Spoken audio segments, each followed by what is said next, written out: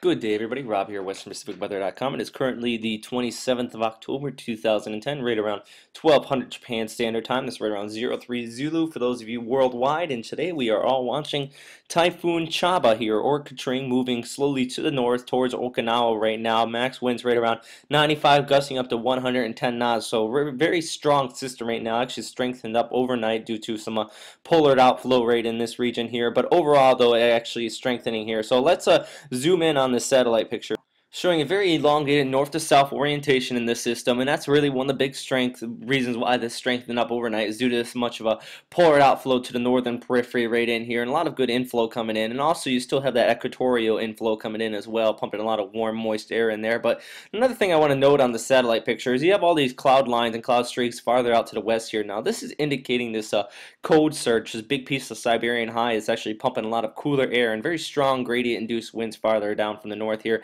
As you can see right in this region, right in here, it's very strong, very turbulent throughout there, as you can kind of tell by these lines right in here. And it's shown on uh, the uh, observations. You can see a 52 knot and a 51 knot wind basically in that same exact area I was just pointing out right in here. So very strong gradient induced winds with this system as well. And even still some 32 and 35 knots farther out to the west here in the Taiwan Strait here as well. So uh, very strong winds even far away from the core of the system. No obs near the center of the system. That's actually really good news because all these obs are coming from ships here as well, just a note here. But still, this very strong gradient. And on a surface, you can now clearly see this gradient-induced winds that I'm talking about here. It's a very tight gradient throughout all this region as the Siberian high works its way to the south, actually from a cold surge here. And this is going to start interacting with the northwestern periphery of the typhoon down in here. Now, the system isn't forecasted to gradually intensify, but especially away from the core in the uh, northwestern periphery here. Through, so definitely by this evening, throughout much of the Ryukyu Islands, I would expect to start seeing some uh, wind gusts above tropical storm force winds as this gradient starts to really tighten up here.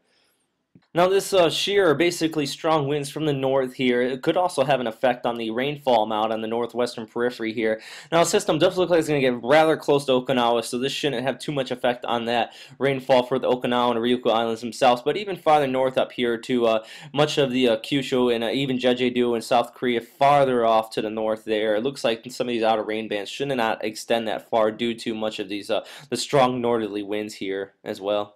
Now uh, that we got that down, where's the system gonna go? Well, right now, it's showing on the streamline analysis is really strong weakness in the subtropical ridge in here. Now, this system's gradually going to drift north into this weakness and eventually move off to the subtro the uh, extratropical trough farther up here to the north as it makes this transition to an extratropical state up here over uh, Honshu. So it's uh, really going to bring some rainfall throughout much of the uh, islands up here throughout the uh, weekend here as well. Shown on the uh, GFS model here you get a clearer picture here. Now showing the initiation of the storm here by this afternoon on the uh, 27th. Now it's actually going to start to work its way towards the north and eventually over Honshu. Showing on this uh, extended outlook here. You can see a landfall here on the 30th over Shikoku and Honshu. So definitely going to be a very rainy weekend this Halloween weekend here throughout many of the islands. But immediately though, over the next 24 hours, looks like Okinawa is going to be hit. Now showing the GFS or JTWC track showing a very close CPA to Okinawa, less than 100 nautical miles uh, from the uh, center of the storm, and some typhoon strength winds, possibly overnight on a Thursday night into a Friday morning as the storm nears the uh, Okinawa Islands here. And definitely this times have actually moved back here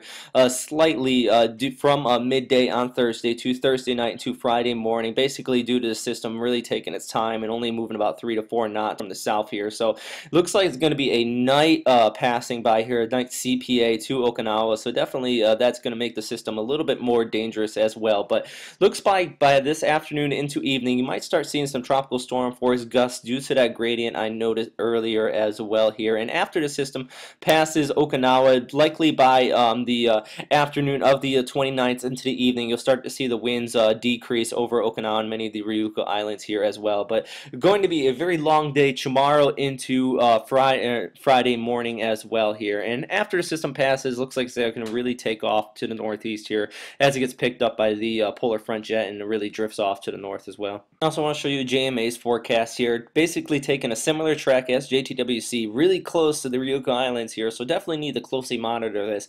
And also to note, the system is moving relatively slow, so really still have a wide cone of error uh, for JMA here, still extending throughout much of the Ryukyu Islands, but looking like a second landfall up near Shikoku and Kyushu here, farther out, according to a JMA. And also noting right now central pressure at 955 uh, millibars. So definitely a dropping system overall as far as it deepening and getting stronger here. But that is all for uh, today's update, everybody. I'll likely have another update again this evening, so uh, stay tuned for that. And also, uh, if you have any questions, please feel them to me here at westernpacificweather.com. Also, find me at storm2k.org if I'm not available. Plenty of meteorological sound people there as well. So please stay safe out there, everybody, and um, make sure you listen to your local bases here for uh, TCCOR conditions if you're on a base here in the Ryukyu Islands. And also, make sure you listen to uh, JMA's official forecast come out of this as well. So uh, please stay safe and have a great day. Bye.